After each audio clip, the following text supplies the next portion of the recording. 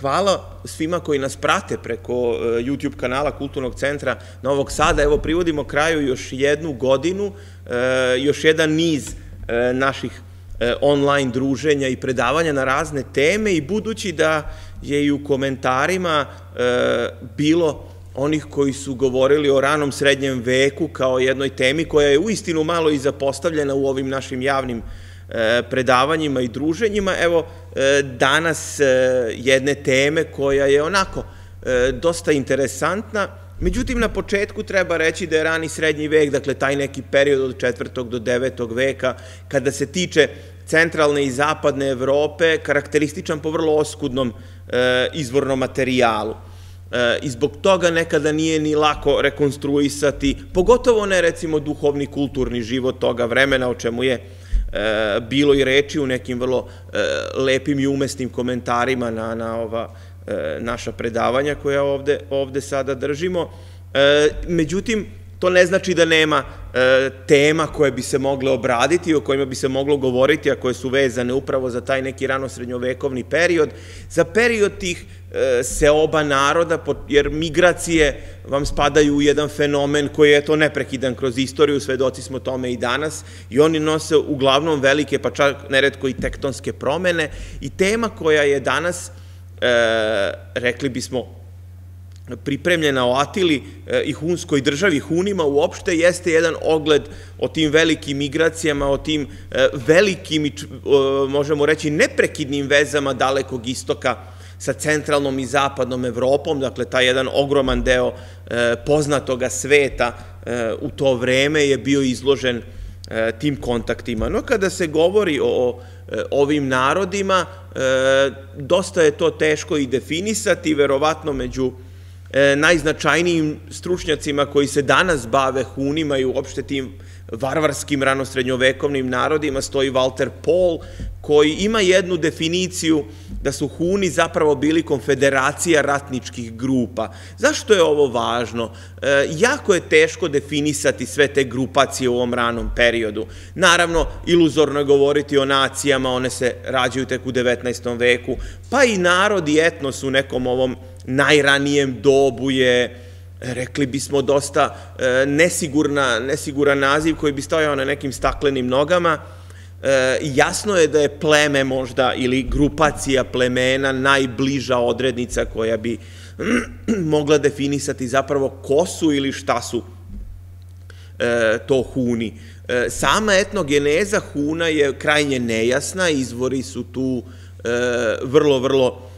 oskudni, jasno je da Huni ili ta hunska grupacija pripada nekim evroazijskim e, narodima. Do dan danas postoji više e, teorija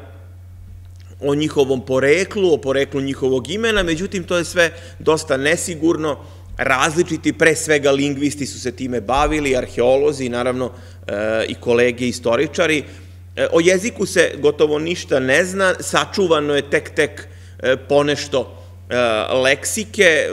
postoje različita mišljenja da li je blizak možda nekom turkijskom jeziku ili nekom od tih turkijskih jezika nepreglednih e, srednjoazijskih stepa ili od ovih živih jezika koji danas postoje, a koji se mogu e, ubrajati u, tu neku grupaciju koja bi bila bliska tom evroazijskom prostoru, čuvaškom e, jeziku. Postoje, dakle, te neke teze, opet kažem, sve su dosta, dosta na staklenim nogama, e, ne postoje neki e, sigurni pisani izvori, pa ni arheološki, to je jako bitno, jer stepski narodi kao takvi e, imaju e, dosta oskudan arheološki materijal koji su i inače ostavili za sebe, jer se radi o nomadima. Nomadski narodi već po samoj definiciji su skloni stalnim migracijama, preseljenjima, te ni njihova materijalna kultura nije nešto preterano bogata, iako postoje neki e, i arheološki, dakle materijalni ostaci, materijalni izvori koji bi mogli da svedoče otprilike o nekoj razvijenosti e, tog nekog e, života unutar hunskoga, hunskoga sveta. E, negde oko 200. godine pre nove ere, e, Huni, e, koje kinezi su, verovatno se radi o narodu koje kinezi nazivaju Xiangnu, e, su napadali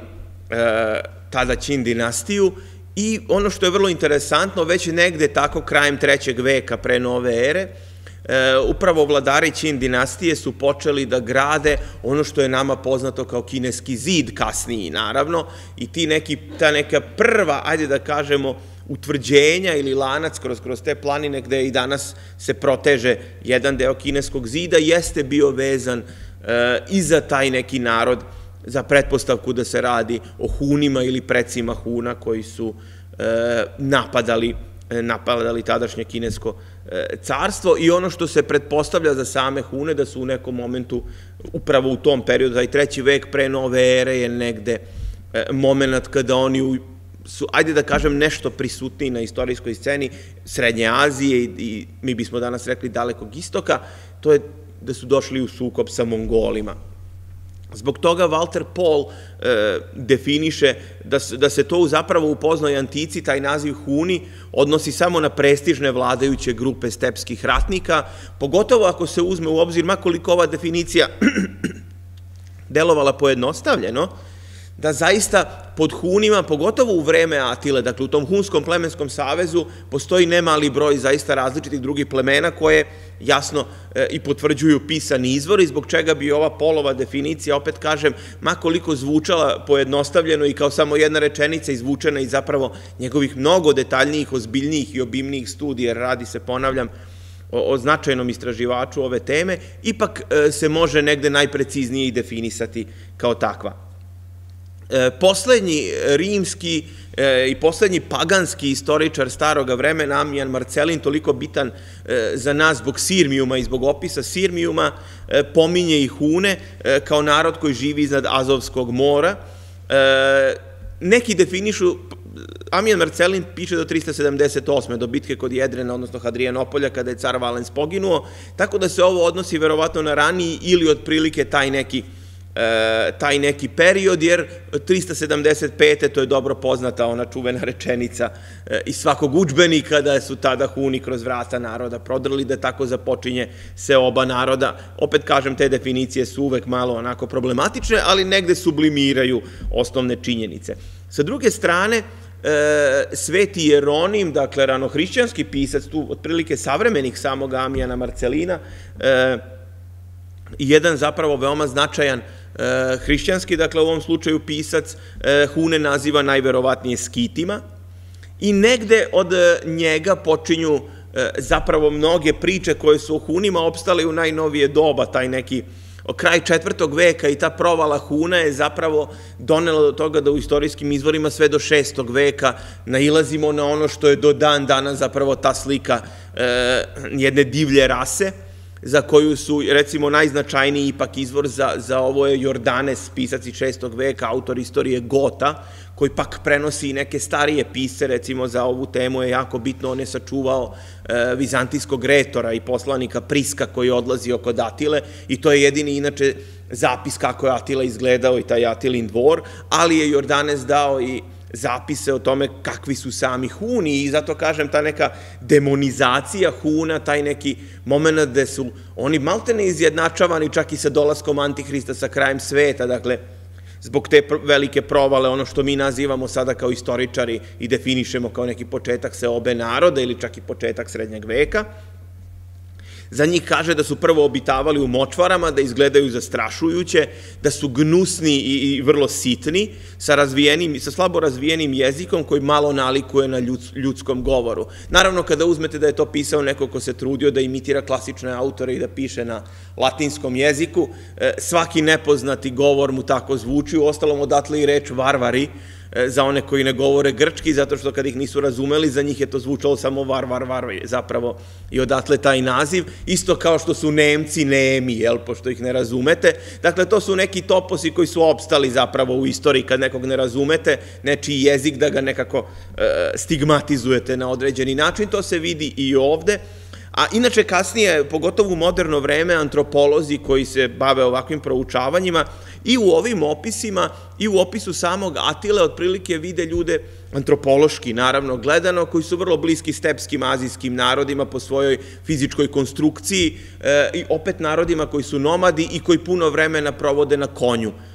i zbog toga ti opisi gde ih obično prikazuju kao oni žezdepaste, što je dosta vezano zapravo za taj moment da se mnogo boravi na samom konju i dakle opet kažem to su već antropološke neke teme, međutim dosta interesantno da postoje antropolozi koji su i to pogotovo u inostranstvu poredili zapravo sa onim kako su tu ti neki e, ajde da kažemo tipovi e, ljudi u tom nekom prostoru. Upravo negde u krajem trećeg veka, ovo je dakle jedna kao što vidite dosta loša karta sa interneta kakvih je nažalost e, mnogo, pokazuje neke te ostatke E, kineskog zida ili makar onoga što je početak kineskog zida, dakle njegove izrade, e, izgradnje, pardon, od žutog mora ka centralnoj, ka centralnoj Aziji, dakle neki od tih, rekli bismo, delova jesu podignuti da bi se sprečili upadi ti nekih, hajde da kažemo, predaka prahunskih. Naravno, kineski zid je vekovima, neko bi rekao i milenijumima zapravo, e, dorađivan i dograđivan e, i kada je bila velika mongolska najezda, što je, verovali ili nekada se računa, 14 vekova, skoro milenijum i po nakon ove priče o Hunima, od recimo 200 godine pre nove ere do 13. veka, dakle 1400 godina, zaista jedna monumentalna građevina, ima i ta, ovaj, naravno, netačna priča da se vidi s meseca i mnogo što šta, ali kažem, sam, sam početak jeste vezan za pretke Huna. Ono što smo pomenuli, dakle, postoje neki tragovi e, materijalne kulture koja se od strane arheologa pripisuje Hunima, e, tako i ova fibula koja se pripisuje Hunima, verovatno je pripadala nekome iz hunskog višeg sloja. No kako su zapravo tekle te migracije, vidimo da su već polovinom drugog veka Huni se, ajde da kažemo, naselili ili migrirali oko Kaspijskog mora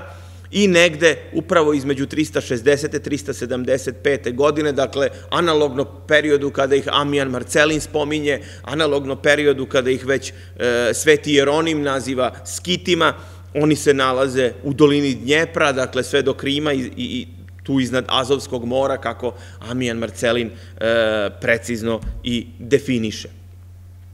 Huni su e, izvršili invaziju crnomorskih ponskih stepa 375. godine, opet kažem, ta čuvena učbenička rečenica su prošli kroz vrata naroda, odnosno Ural, koji se smatra, eto, geografski granicom Evrope i Azije, i tada je ono što je dosta važno i, i za istoriju ovih prostora, dakle, poznog rimskog carstva i rane Vizantije negde na tlu današnje Vojvodine, e, jeste što je nemali broj gota morao da pribegne E, Rimljanima, odnosno istočnom e, rimskom carstvu. U toj velikom naletu osvojeni su, odnosno možemo reći, podvrgnuti su hunskoj vlasti Alani, deo Greftunga, Greftunga, odnosno istočnih Gota i dobar deo Tervinga, iz kojeg su se razvili kasnije Vizigoti, odnosno zapadni Goti. To su sve e, nazivi koje su se koristili za ove grupe plemena. E, pod ovim velikim, možemo reći u tom momentu, neizdrživim pritiskom, Goti su prešli u istočno-rimsko carstvo, u velikoj meri ili u jednoj meri i na e, ove prostore, postali su federati Carigrada, dakle, njih je prvi primio car Teodosije e, prvi, oni su naseljavani na, negde između ostalog i u Podunavlju i u prostoru između Save i Dunava, zato se i u Sremu, mogu naći ostaci arheološki i o tome je dosta i pisano. E, i ne samo, dakle, na tom čitavom prostoru e, koji je obuhvatao taj limes, mogu se naći arheološki ostaci upravo i Ostrogota i Vizigota, Gepida i drugih naroda, pretpostavlja se da čak i Gepidi ima ta pretpostavka u nauci, imali svoju arijansku episkopiju u samom Sirmijumu jedno vreme, dakle, e, jedna invazija koja je dosta promenila sliku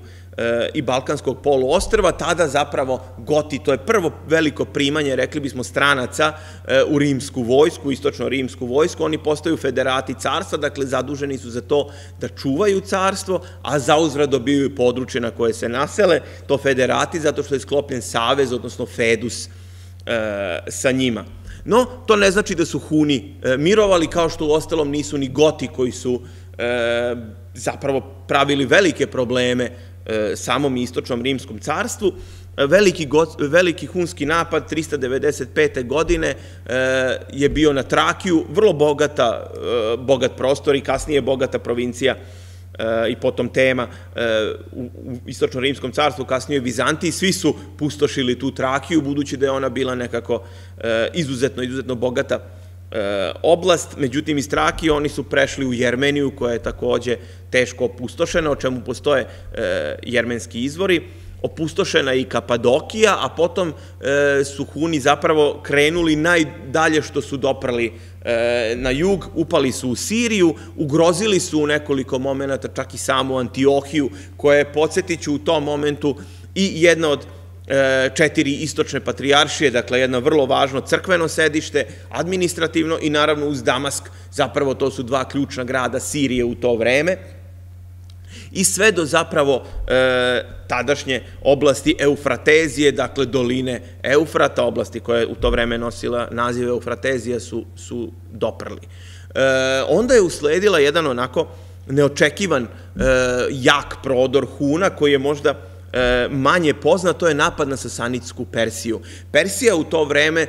najveći protivnik istočnog rimskog carstva, rane Vizantije, dakle, i Julijana Postata je poginu u pohodu na Persiju. Pohodi na, ti sukobi sa Persijom tokom četvrtog e, veka su izuzetno e, intenzivni, oni su obnovljeni i kasnije u vreme Justinijana, pa i cara Iraklija, pogotovo kada je i propala Sasanitska Persija. Međutim, ovaj veliki hunski upad e, je nosio niz početnih uspeha. Dakle, sem tog velikog haranja,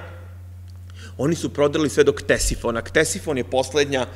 velika persijska prestonica, ako govorimo o drevnoj Persiji, dakle, pre obnove e, Safavida i izgradnje novih prestonica u, ran, u poznom srednjem ranom novom veku i kasnije. Dakle, Ktesifon je taj poslednji e, centar uz Ganzak koji je poslednji veliki zorastrijski centar e, samih Persijanaca, međutim Persija, kada je već ugrožena i bila i prestonica, organizovan je veliki protiv napad, Hunima je nanet jako težak poraz i nikada više oni nisu prodirali zapravo na istok. Postoje neki ostaci koji su iz Azije drugim migracijama dolazili, ali ovako velikog organizovanog hunskog prodora e, na istok više nije bilo. Od tada pa sve do Atiline smrti, dakle narednih pola veka, e, zapravo centar teža hunske politike je centralna i zapadna Evropa. Prvi hunski predvodnik, zapovednik koji je naveden u istoriji, zvao se Uldin ili Huldin, on je zapravo predvodio jednu hunsko-alansku ili alansko-hunsku vojsku protiv Radagajsa, e, gotskog vladara u Italiji. U ovom momentu Huni su u službi istočnog rimskog carstva. Huni su, dakle, deo e, vizantijske e, vojske i služe u tom momentu e, Vizantiji, međutim, oni nisu siguran saveznik, upravo i baš naprotiv. E, sam Uldin se istakao i 400. 401. godine kada je ocekao glavu još jednom gotskom vođi E, Gajinu, negde na Donjem Dunavu, međutim 408. godine e, Huni su promenili svoju politiku, upali su e, u Rimsko carstvo, pogotovo napavši na Trakiju, koja je tu negde zgodna i zbog svog značaja, ali i zbog blizine. Šta je hteo Carigradski dvor? Naravno ono što je i politika koju je Rimsko carstvo vekovima, divide timpera, zavadi pa vladaj, politika diplomatije i naravno starog dobrog potkupljivanja, jer niko nije imun e, i svako se može kupiti kesom zlata, kako je u 14. veku govorio Ivan Danilović Kalita, moskovski knez. E, međutim, e, Uldin je dobro to znao izgleda, pa je ponudio previsoku cenu koju u tom momentu Vizantijski dvor nije mogao da isplati, Međutim, onda opet kažem, stupa na snagu ta diplomatija koja je zapravo 1100 godina bila jedna od temelja postojanja Vizantijskog carstva, e, a gde je bilo zaista e, u najbezizlaznijim situacijama, da se tako izrazim, Carigradski dvor je znao koga da potkupi i okrene jedne protiv druge i na taj način zapravo e, opstane. E, Uldin, dakle, nije bio potkupljen, ali zato njemu potčinjeni su rado pristali da budu e, korumpirani, njegovi e, potčinjeni, onda je došlo do unutrašnjeg sukoba, oni su se pobunili protiv Uldinove zapravo vlasti, jer Huni nikada nisu imali monolitnu jedinstvenu vlast. Dakle, redak je slučaj, to je bio Atila u jednom momentu, međutim, uglavnom to nije bila organizovana centralna vlast, imali su najmanje dvojicu, dvojicu vladara, plus te sve plemenske e, zajednice su imale maltene svoje zapovednike, često ćete ih u literaturi naći kao plemenski neki kraljevi ili plemenski vladari, dakle svi su oni, e, nema tu stroge centralne vlasti kako se, ne znam, zamišlja da je neko od njih bio sad predvodnik i to je bilo zaista, zaista redko i to je ovde recimo jako doprinalo jer su se ti Uldinovi potčinjeni pobunili, zapravo pokušali da ga svrgnu sa vlasti, Uldin je pobegao preko Dunava i tu se njemu gubi svaki trag u istoriji. Dakle, u ovih nekih 15 godina ili možda malo manje ostavio je nemalo traga u izvorima, međutim, e, preko Dunava, da li je ubijen, da li je umro, to je jedno pitanje e, koje je otvoreno. E, hunski plaćenici se sada negde u narednih nekoliko decenija javljaju u vizantijskoj vojsci, Najpoznatiji među njima dvojica su Ruga i Oktar, kojima je e, rimski namestnik Galije, e, Galije Flavije Aecije predao delove e, Panonije u to vreme, on je bio, dakle, magister militum, zapravo, kako se zvala njegova titula za čitavo zapadno rimsko carstvo, ili te zapadne delove. Predao je delove Panonije i na taj način su se Huni počeli tu zajedno sa brojnim plemenima koja su bila u sastavu tog plemenskog saveza, kako se često naziva, opet kažem, sve to treba uslovno shvatati, tako su se naselili Panon. Još malo tragova e, njihove materijalne kulture, ovaj je već pronađen ovamo u bliže e,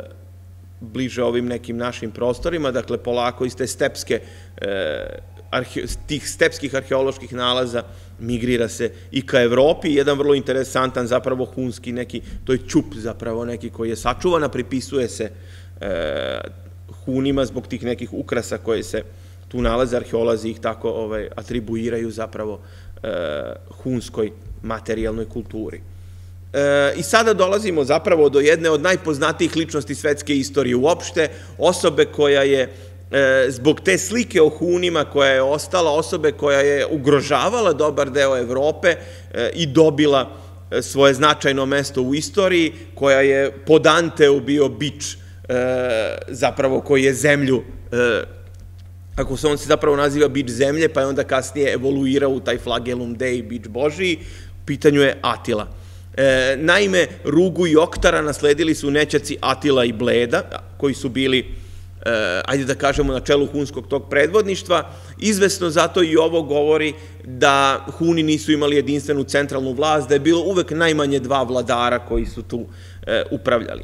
Što se tiče imena Atila, mi ga danas percepiramo na jedan sasvim drugi način, ali ono je najverovatnije germanskog ili gotskog porekla,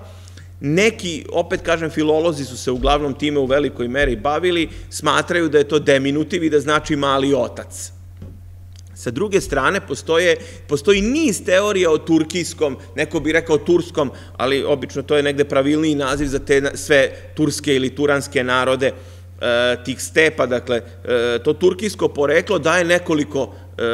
zapravo mogućnosti, jedna je čak i veliki okean, dakle, kada se to ime podeli, sa druge strane, at koji na staroturkijskom, pa i na turskom do dan dana znači konj i i ovo Atila bi zapravo mogao biti konjanik. E, dakle, to su neke e, glavne, možemo reći, dominantne teorije koje se javljaju vezano e, za njegovo ime. Kod Jordanesa čitamo da mu se otac zvao Mundzuk i da je takođe bio nekakav hunski plemenski poglavar. Kako je on izgledao? Malo pre, rekao smo, njega je video Prisk, radi se o vizantijskom, bio je retor, što je zapravo u to vreme negde ekvivalent advokatu, pravniku, i bio je i zaslanik vizantijskog cara Teodosija II. kod Atile, dakle u tim pregovorima kada su razmenjivana poslanstva, budući da je Atila, što je dobro poznato, ugrožavao čitavo rimsko carstvo, dakle i zapadno, ali i ovaj istočni deo, dakle ranu Vizantiju. E, Pris ga je opisao kao niskog velike glave i širokih grudi i očiju koje gledaju na obe strane. Antropolozi su tu zapravo videli ono što mi obično pripisujemo azijskim narodima, nešto kosije, kosije oči. Dakle, e, evidentno je da je Atila, kao i dobar deo Huna, zapravo pripadao tim srednjeazijskim narodima i antropološki bi ovaj, bez obzira što su Vizantinci naravno e, ovo posmatrali sa indignacijom ovakav opis jednog čoveka i to je za, za njih zapravo bio jedan divljak i varvarin. E, kada ovaj opis e, odbacimo, dakle, taj kada izvršimo ono što mi istoričari zovemo analizu istorijskih e, izvora i kritiku istorijskih izvora, zaista se utvrđuje da je otprilike mogao da izgleda onako kako se najčešće i kasnije opisuje, dakle, jedan tipičan srednjoazijski konjički predvodnik. 435. godine, nedaleko od današnjeg Požarevca u Margumu, dakle na Moravi, e, potpisan je sporazum sa Hunima. Huni su dobili takozvano trgovačko pravo i povećan je rimski danak e, koji je plaćan Hunima. Trgovačko pravo je, iako Hune i Atilu isključivo zamišljamo e, na konju kao e, vojsku koja pustoši i hara i kao jednog biča Božije koji je isključivo surov, i Huni su, o tome se do duše u izvorima malo može naslutiti, ali ipak postoje podaci, Huni su se bavili i trgovinom, ovo trgovačko pravo je bilo izuzetno važno, bili su oslobođeni carina dažbina,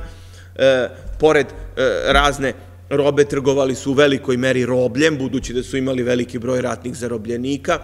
pa su ih i prodavali čak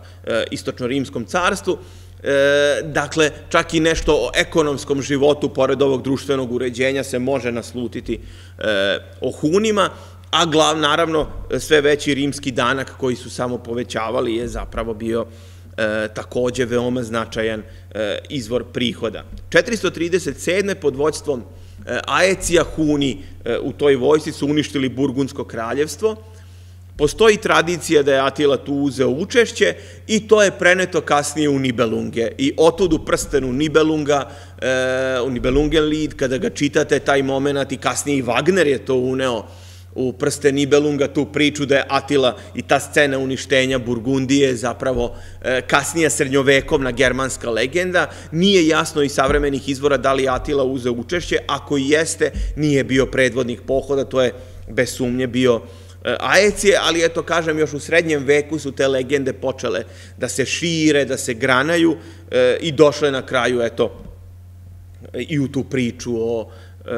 Unibelunzima. Dve, iste godine Huni su pomogli Aeciju i da zarobi jednog pobunjenog vođu Bagauda, a već naredne godine Huni su bili u rimskoj vojsci prilikom opsade Tuluza. Međutim, dve godine kasnije, kako se to obično, kako se kaže u američkim filmima The Tables Have Turned, eh, situacija se eh, promenila i Huni su napali istočno rimsko carstvo. Nije jasan sasvim razlog, postoji u izvorima jedan pomen da je episkop Marguma navodno skrnavio hunske grobove. To je izazvalo jedan, ako govorimo o Balkanskom poluostrvu, za uopšte istoriju Balkana u raznim e, nivoima, veoma važan trenutak. Velika invazija Huna na Balkan 441. godine ostavila je ogromne posledice po istoriju Balkanskog poluostrva. Mnogi zato istoričari i arheolozi, pogotovo koji se bave klasičnim periodom, smatra, neki uzimaju čak da je ovo granica srednjeg veka na Balkanu. Zbog čega? Viminacijum je tada sravnjen sa zemljom. I ono što znamo e, kao municipijum i danas je li lepo obnovljen muzej, e, otprilike je negde svoju istoriju e, imao do ovog perioda. Singidunum je takođe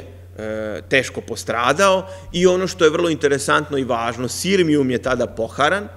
i prefekt Ilirika po imenu Leontije tada je verovatno preneo mošti svetog Dimitrija u Solun i kult sirmijumskog đakona Dimitrija počeo je da se razvija u Solunu i dobio je neke druge obrise i do dan danas on je uglavnom poznat u, u tom nekom solunskom e, miljeu kao sveti ratnik, vojnik, zaštitnik i samoga grada Soluna i tako je ušao zapravo i u bar ovaj pravoslavni e, deo hrišćanskog sveta, na zapadu je negde to malo drugačije i sirmijski mučenici su nastavili da se poštuju do danas u većoj meri u rimokatoličkoj crkvi, ali negde u ovom periodu vidimo, dakle,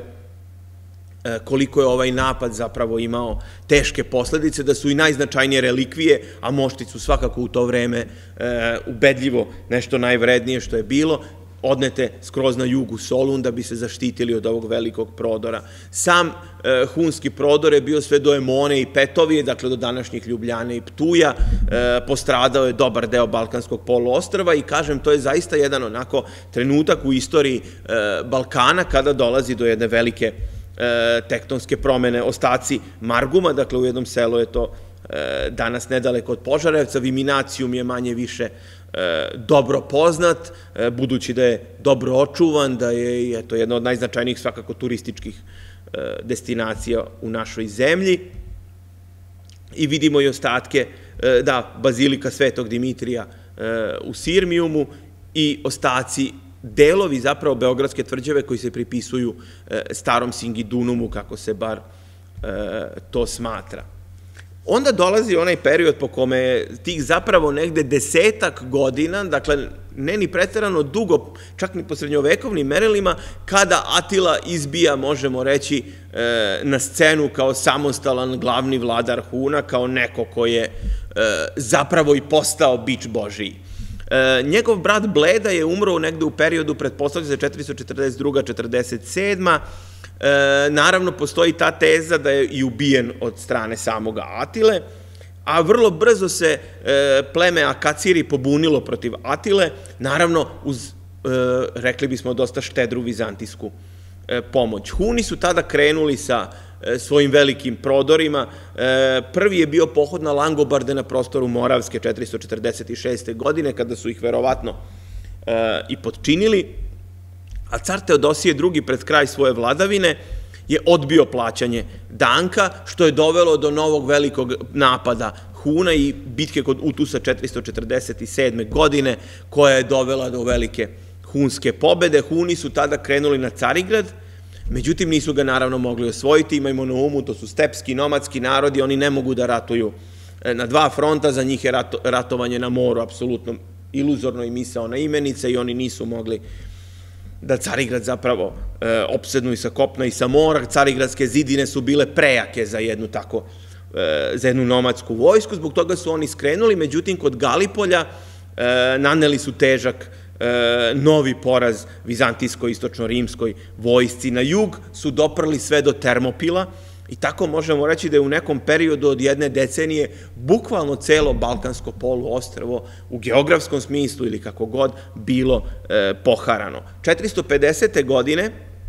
Sklopljeno je neočekivano primirje sa Vizantijom i Atila se povukao sa osvojenih područja. Istoriografiji se postavljaju pitanja zbog čega se to e, desilo, zbog čega je Atila tako neki bi rekli dosta lako odustao od e, Balkana, osnovni razlog bi mogla da bude priprema za ono što je svakako najpoznatije u čitavoj istoriji Huna, to je taj Atilin e, pohod e, na zapad. Čak naslednik Teodosija II. car Markijan je u jednom momentu prekršio mir, a Huni gotovo možemo reći da nisu ni reagovali. Atila se maltene nije na to ni osvrnuo. Očigledno da je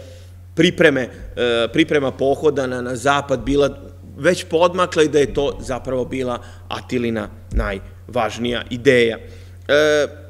naravno, vrlo uslovno treba shvatati ovakve, ovakve mape, e, to je jedna onako malo poprilično preterana preterano prikazivanje Atilinog nekakvog carstva, kako se to uobličilo na naziv, ali svi ti, ajde da kažemo, stariji atlasi i nemački i engleski daju tako malo preterane podatke, prosto nisu ih radili ljudi koji toliko dobro poznaju istoriju svih tih krajeva, ali jasno je da se radi o jednom velikom e, prostoru, prostranstvu koje je obuhvatalo značajan deo zapravo srednje i istočne Evrope i te neke evroazijske, e, rekli bismo, granice. Gde je zapravo koren pohoda na zapad? Atila i Aecije su u jednom momentu podržali različite kandidate za tron ripuarskih franaka i dakle već je došlo do tog nekog, rekli bismo, sukoba njihovih političkih interesa koji nužno dovode e, onda i do, novi, do ratne, ratnih događaja. Jedan od vođa Bagauda je takođe prebegao Atili boreći se e, protiv e, Rim, Rima. E sad, tu ima niz legendi koje su zaživele, čerka cara Valentinijana III. po jednoj poslala je prsten Atili i ponudila mu zapravo e, brak, e, a on je zauzvrat tražio da pola rimskog carstva mu ona da u miraz i tako ga je zapravo ona pozvala da napade na Rim. Ova legenda je naravno u historiografiji odbačena zapravo kao čista fikcija, ali je jedna onako tipična srednjovekovna priča o tome kako je mogao da izbije sukob, a postoji teorije koje su mnogo konkretnije i rekli bismo ne tako romantične, da se radilo o klasičnoj prostoj borbi oko vlasti nad Galijom, što je možda negde najpribližnije e, istini Valentinijan III. inače je bio zapadno-rimski car, dakle koji je stolovao u Rimu, to je bitno napomenuti. E, u samoj Galiji osvojen je Mec, osvojeni su još neki gradovi, došlo je do čuvene opsade Orleana, koja je takođe kasnije preneta i u neko kolektivno sećanje, a Atila je proveo i neuspeli e, pohod na Pariz. E, prodor Huna je bio sve do Belgike, zapravo misli se na severne delove tada Galije, osvojen je današnji grad Troa koji je takođe teško postradao i onda se desio ključan, možemo reći, događaj 20. jun 451. godine, i ta takozvana bitka na katalunskim poljima. E, obično se kaže, i to je negde ušlo u istoriografiju, da je to kao Atili neki veliki poraz, e, krah i tome slično. Činjenica je da se se posledice bitke osetile tek sutradan zapravo. Odnosno, e, tu je veliko pitanje, sama bitka je moguće završena e, nerešeno i ne bi se verovatno mogao nazvati klasičnim hunskim porazom, e, Međutim, tu je bila jedna druga priča, vezana je za Aecija, pa i za čitavu rimsku politiku. Naime, da su dokrajčili Atilu, činjenice da su sutradan se negde pojavili pred njegovim šatorom i da je to bilo onako dosta i neočekivano, dobili bi jake gote na, na zapadu. Ovako oslabljeni Huni su, su im nekako politički više odgovarali nego da se Atila ubije i totalno porazi i da onda umesto E, oslabljenih Huna, kojima su pokazali ipak da nisu nepobedivi, e, dobili bi prejake gote. Da li je to bilo pametno ili ne, ostaje veliko pitanje. Atila se uspeo povući, da li je u pitanju političko taktiziranje ili stvarno neki hunski poraz tokom kojeg se on povukao i danas je otvoreno pitanje u istoriografiji, međutim, e, ponavljam, sve je više onih e, stručnjaka koji se bave ranim srednjim vekom, koji naginju toj priči da se ipak radi o jednoj nerešenoj bici koja je potom praćena Atilinim e, povlačenjem koje je bilo malte ne pa dogovoreno i dopušteno. Već 452. godina nam daje za pravo da tako razmišljamo, jer su Huni imali novi veliki e, pohod, e, napali su Padovu, Mantovu, Vićencu, Veronu, Brešu, Bergamo, dakle ti gradovi su sravnjeni sa zemljom. Jako interesantno da nikada nisu pokušali napad na Ravenu, na sedište zapravo e, ravenskog e, egzarka, možemo reći u tom momentu glavnog grada e, rimske e, Italije, E, ali ono što je još zanimljivije jeste trenutak velikog poslanstva koje je poslato Hunima, u kome je moguće bio i papa Lav prvi veliki, koji je time stekao veliki ugled. E, u tom nekom sporazumu, inače taj susret pape Lava prvog velikog i Atile je u srednjovekovnoj umetnosti, pa i do danas, pošto je Lav prvi veliki e,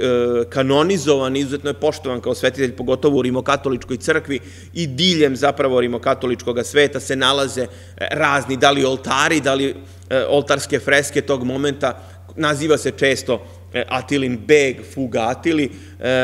međutim, taj moment gde u tim pregovorima je papa uspeo da izdejstvuje da se Huni povuku zapravo iz Italije. Evo ovako je otprilike bio taj neki E, prodor, dakle, išlo se negde dolinom Rajne, e, stradali su i Worms e, i Strasburg, pre nego što su i Majinci odatle, dakle i Kelni, Trier i pogotovo Mec su sravljeni sa zemljom, dakle jedna onako velika veliki prodor koji je, do duše je ono što je preživelo, preživao je Pariz i Orlean, dakle ta dva grada su preživali opsade, kod Pariza se desio zaista i ozbiljan poraz te vojske, E, međutim, na povratku sa e, tog neuspeha e, kod Orleana i došlo do bitke na katalunskim, na katalunskim poljima i ta neka hunska vojska je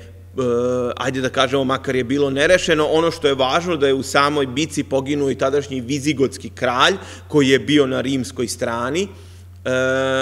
što je ajde da kažemo, negde doprinalo toj ravnoteži snaga i možda je takođe i to jedan od razloga zbog čega je Atila pušten, jer, dakle, da se ipak održi neka ravnoteža kod tih varvarskih neprijatelja carstva, što je, kažem, već malo onako dosta politička e, priča. Ovo je jedna onako novija mapa same bitke na katalunskim poljima, veliko je pitanje e, koliko je tu bilo zapravo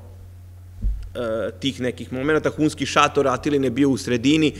na levom krilo su komandovali Ostrogot i desno su bili Gepidi i drugi Germani, dakle i jedna i druga vojska su bile vrlo, vrlo šarolike i tako ih i treba posmatrati. Nije to samo jednostavno, jednostavan sukob e, Huna i e, Rimljana, to je zapravo jedna vrlo komplikovana borba tada novo pridošlih brojnih naroda gde su i Huni i razne vrste, rekli bismo razna germanska i negermanska plemena e, i rimsko carstvo, kako zapadno, tako i istočni E, rimski svet sa sedištem u Carigradu, rana Vizantija, svi su se oni tu negde borili, jer to je doba prekrajanja mape sveta kakva se do tada poznavala i to je ono što treba razumeti kada je u pitanju ranji srednji vek, i sve,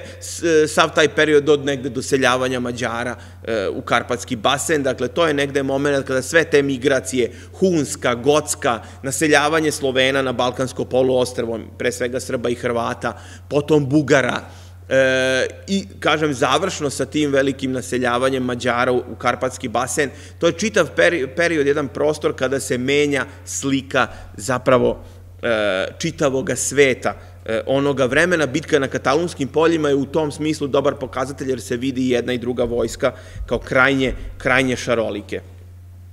E, Atila je neko ko je došao, jeli sada, do pred kraj svoje karijere, a neko bi rekao zapravo tek tad počinje e, ta neka priča, ono što mi istoričari nazivamo recepcija neke ličnosti u istoriji. Pripremao se za pohod na Carigrad, to je dobro poznato. E sad, naravno, o njegovoj smrti, e, logično je da jedna takva ličnost e, kakva je bio on, e, dobije svakako u toj nekoj recepciji priču o svojoj smrti. On je naime imao jel, više žena, ta poslednja se obično naziva Ildiko i zbog toga je to i kasnije ušlo i kao jedno od najpopularnijih ženskih imena kod Mađara do danas. Na, navodno priređena je po, povodom tog braka jedna velika pijanka kao i obično i Atila je tu još preterao maksimalno u tim orgijama e, i sutradan ujutru je pronađen mrtav u bračnoj postelji E, smatra se da je uzrok smrti bila hemoragija, neki kažu moždani udar ili prekomerna doza alkohola, njemu je krv strašno e, išla iz nosa. E, ono što je činjenica, što se negde prenebregava, jeste da pogotovo u ranom srednjem veku, a i kasnije, životni vek je bio izuzetno kratak, pogotovo u poređenju sa onim što mi znamo danas kao prosečan ljudski životni vek. Sam Atila je, dakle, na e, istorijskoj sceni E, zapravo bio negde 15 godina, otprilike plus minus koliko možemo da znamo e, o njemu. E, njegova iznenadna smrt, naravno,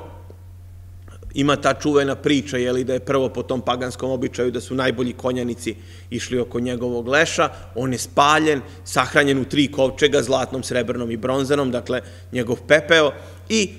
sada kreće ta priča o tome da je ostalo njegovo veliko blago, on je bačen e, navodno u Tisu, e, postoji je li ta teza da je Tisi namerno skrenut tok da se ne bi znao njegov grob. E, same legende o Atilinom blagu žive i postoje, možemo reći, do savremenog perioda.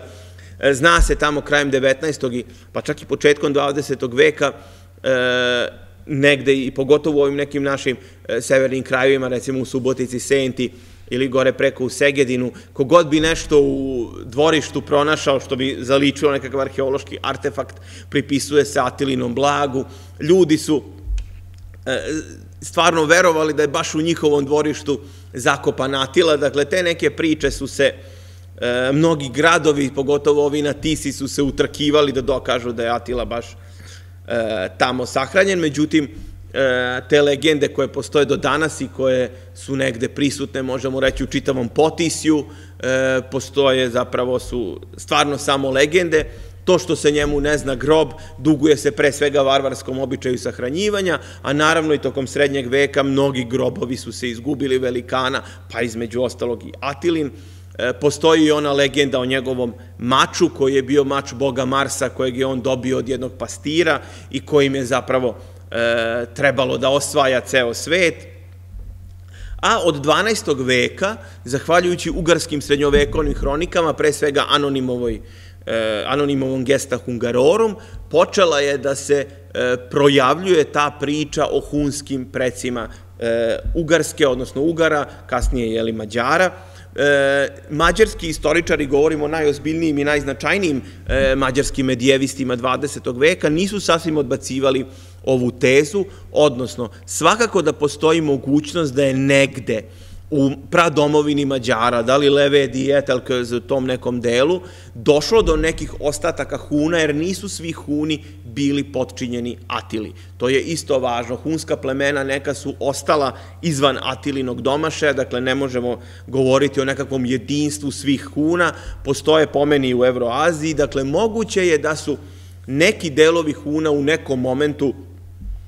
bili priključeni tom velikom plemenskom savezu koji je 895. 6. naselio zapravo Karpatsku dolinu kada su se Mađari doselili na ove e, prostore. E sad, kada govorimo o buđenju nacionalne svesti, 19. vek je vreme formiranja modernih nacija,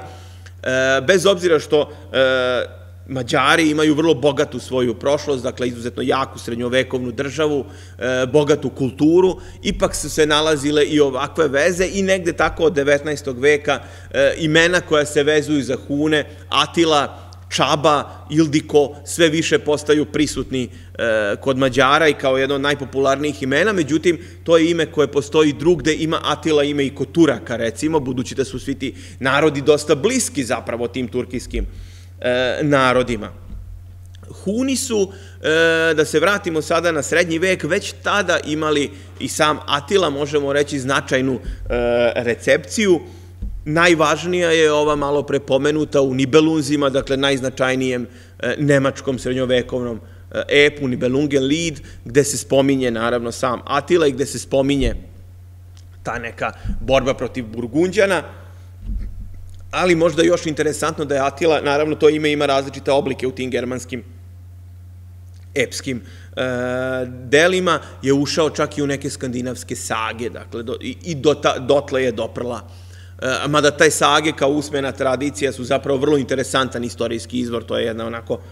e, posebna priča koliko se tu može naći podataka i o Vizantiji i o drugim delovima Evrope, pa e, i o Hunima i o Atili koji su nekoliko saga e, ispominje. E, kod Dantea Atila je takođe spomenut kao zapravo kao bič zemlje e, flagellum terre, e, budući da ga je Dante pobrkao sa kasnim gotskim kraljem Totilom koji je spalio Firencu u šestom veku, e, Dante koji je sklon, jeli, malo da brka ličnosti, je Atilu prozvao tim bičem i optužio ga za to spaljivanje Firence u ranom srednjem veku, što, se, što je zapravo bilo u vreme Justinijanovih ratova i borbi E, Gota, odnosno Ostrogotske kraljevine, tada sa Vizantijom za prevlast e, u Italiji, a dobio je, kažem, kasnije i taj nadimak Flagellum Dei, Ovde ga vidimo u e, ilustrovanoj mađarskoj hronici, u Kepeš hronici, da je prikazan, dakle, mi ovde govorimo već tamo o 14. veku, gde je on prikazan sa tim mačem koji se smatra mačem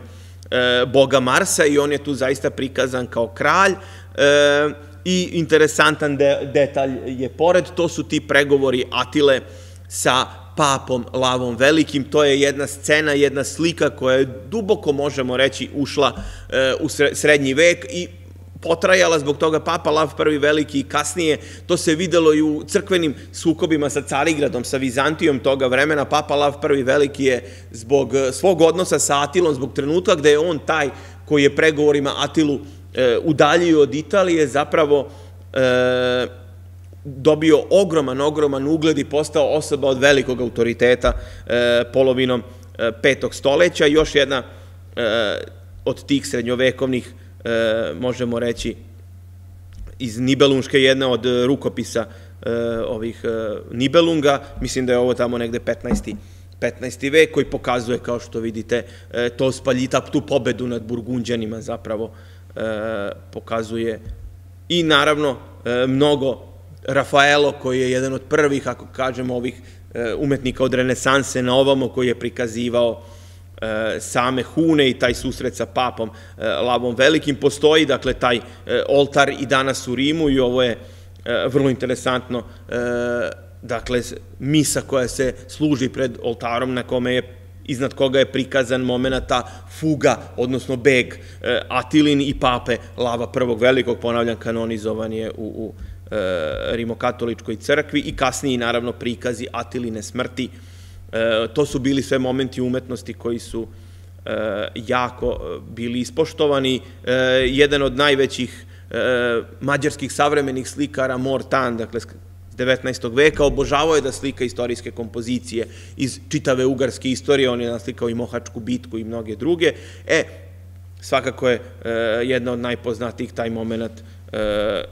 zapravo neke gozbe na Atilinom dvoru i poslanstva koje je on primio, gde on, vidite, prikazan na jednom uzvišenom prestolu kao e, zapravo veliki veliki vladar i u 19. veku e, nešto što je posebno e, ostavilo traga, e, to je poslednja, ovo je inače snimak, odnosno ova tušem naslikana poslednja scena Verdijeve opere Atila, verovatno najznačajnijeg odbleska, ako bismo to nazvali negde u, modernoj umetnosti i moment gde njega jeli, ubija njegova žena, što je taj negde e, završna, završna scena gde, gde Atila jeli, umire i to je zapravo jedna od poslednjih i arija u samoj Verdijevoj operi. Dakle, Atila je neko ko je 1400 e, godina kasnije inspirisao jednog od najvećih kompozitora u istoriji klasične muzike, jednog od najvećih stvara, stvaraoca na, podru, na, uopšte na polju opere, da e, napiše operu, e, iskomponuje operu posvećenu ovom hunskom vladaru i u najnovije vreme, da se tako izrazim, dakle, tokom 19. veka, e, Huni su postali nezaobilazni e, i u mađarskoj modernoj književnosti. Jedan od najvažnijih, najznačajnijih pisaca, Janoš Oranj, sastavio je takozvanu trilogiju Čaba, koju je nazvao po tom, ajde da kažemo, legendarnom pretku Sekelja, E, iz, današnje, iz Transilvanije, odnosno iz današnje Rumunije, ti sekelji koji su, za koje se tvrdi da su poticali upravo od tih Huna i od tog hunskog predvodnika Čabe, on se pojavljaju u nekim drugim izvorima, e, iako je, se, dakle, radi se verovatno o nekom e, staromađarskom ili, ili E, takvom zapovedniku, a ajde da kažemo ta neka slika Atile kao pravednog vladara Huna uglavnom potiče od Geze Gardonija, jednog od isto vrlo interesantnih mađarskih pisaca, nevidljivi čovek, Lat Hototlan e, posvećena je upravo Atili i tu se nalazi negde ta e, slika pravednoga e, kralja koja je zapravo ušla ne samo u mađarsku tradiciju, već i u neke druge tradicije, i tursku i još neke. Gardon je bio taj koji je, možemo reći, to književno uobličio. Do dan danas ovo su dva vrlo poznata e, i popularna dela mađar, um, uopšte u mađarskoj e, književnosti. Naravno, ovo su sve neka savremena izdanja koje se i dan danas mogu naći i kupiti u knjižarama. To je, dakle, nešto što je opstalo sve do savremenog doba. E, Atila je, dakle, jedna ličnost koja je sve do e, najnovijih vremena bio inspiracija i za umetnike i za književnike, iako o njemu e, vrlo se malo zna kao i o celom ranom srednjem veku, ali eto, e, u tih nekih deseta godina ostavio je bez sumnje velikog e, uticaja na čitav onovremeni svet koji je bio zaista ubrzanim i velikim e, promenama i to pokazuje zapravo koliko je tema ranog srednjeg veka važna i svakako da ćemo i tokom naredne godine se truditi da poneko predavanje bude posvećeno i u i tom nekom ranom periodu kako bi se eto osvetlilo, osvetlilo i ovo doba jer ono je negde zbog toga što je manjak izvora i najpodložnije manipulacijama, a e, svakako da je posao nas naučnika da stanemo na put i takvim negativnim pojavama. Hvala na pažnji.